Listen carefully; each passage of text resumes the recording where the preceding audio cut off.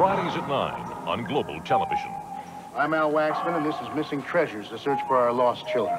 Our purpose at Missing Treasures is to bring to your attention cases of children who have been abducted, have run away, or who, like Lyndon Fuller, have disappeared. Have you seen any of these missing treasures? Join host Al Waxman. With your help, we hope to find our lost children. Global's got missing treasures Fridays at 9.